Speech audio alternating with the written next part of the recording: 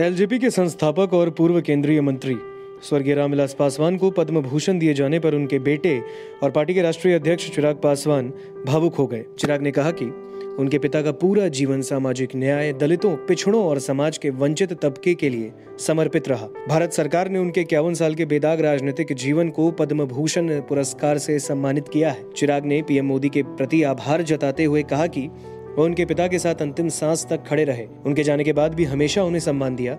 चिराग ने अपनी भावनाएँ एक ट्वीट में व्यक्त की।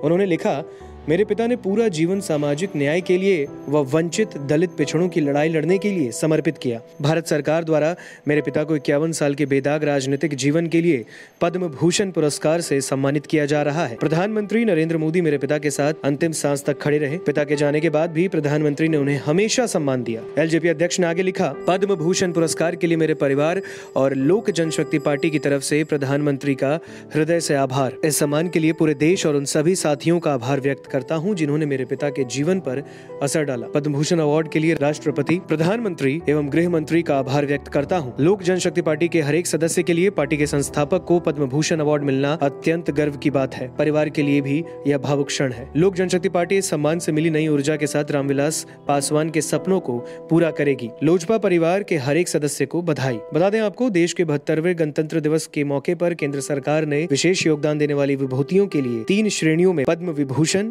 पद्म भूषण और पद्मश्री पुरस्कार की घोषणा की। इसके तहत बिहार से लोक जनशक्ति पार्टी के संस्थापक और पूर्व केंद्रीय मंत्री स्वर्गीय रामविलास पासवान को पद्म भूषण पुरस्कार दिया गया है। बता दें आपको, रामविलास पासवान का पिछले साल बिहार विधानसभा चुनाव के दौरान ही दिल्ली में निधन हो गया था।